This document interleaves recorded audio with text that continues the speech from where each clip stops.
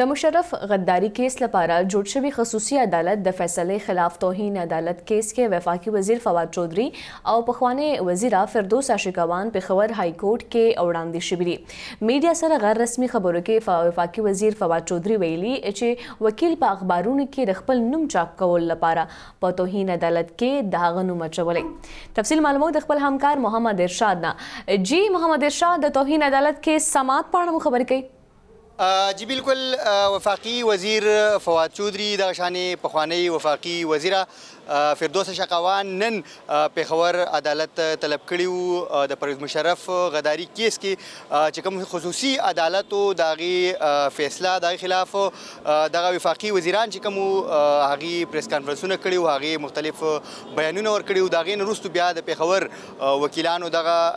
چې کوم د توحید عدالت کیس چې کوم هغه په پیښور های کورټ کې درج کړی او دایر کړی و چې پای کې وفاقي وزیر فواد چودري دغه شان بیرسټر فروغ نسیم وفاقي وزیر قانون دغه شان شهزاد اکبر او په خوانه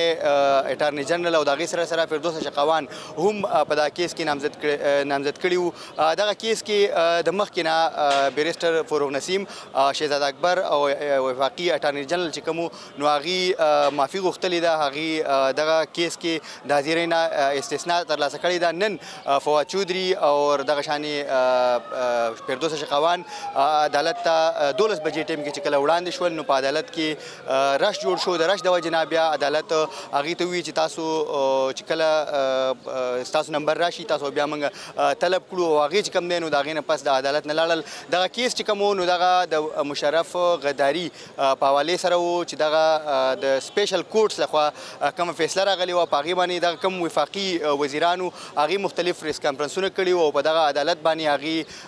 د مختلفو توهین کړی او د هغې نو په دغه کیس کې بیا چې کوم دغه پنځه شپږ وزیرانو د هغې نومونه هغې کې شامل کړی شوي وو دغه کیس کې نن چې کوم دغه وفاقي وزیر فواد چودري او پخوانی وفاقي وزیره فردوس چقوان چې کوم دي نو هغه پېښور عدالت کې وړاندې شوي دي جی